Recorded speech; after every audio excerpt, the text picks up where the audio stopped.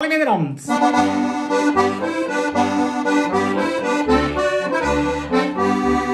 Ui, ui, ui, was sind das für schöne Vögel, wo so gelbe Schnäbeli haben? Das sind doch Kanarienvögel, wo so gelbe Schnäbeli haben. Ui, ui, ui, ich habe viele Reaktionen bekommen vom Witz von gestern.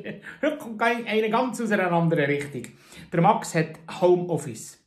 Sein kleiner Bub, der Moritz, der spielt in der Stube vorne mit der elektrischen Eisenbahn. Plötzlich hört Max im Büro hinten, wie sie in der Stube vorne tönt. Die kleinen Tobeli vorne einsteigen, die grossen Tobeli hinten einsteigen.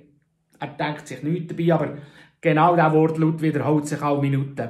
Die kleinen Tobeli vorne einsteigen, die grossen Tobeli hinten einsteigen.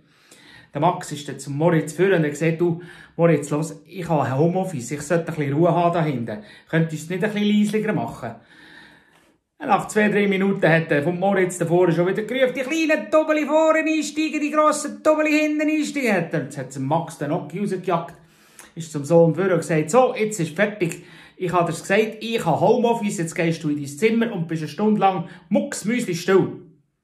Moritz ist in sein Zimmer gegangen, aber nach einer Stunde hat es wieder tönt von der Stube vorne. Die kleinen Tobeli vorne einsteigen, die grossen Tobeli hinten einsteigen. Und wegen dem grössten Tubu im Büro hinten haben wir eine Stunde Verspätung.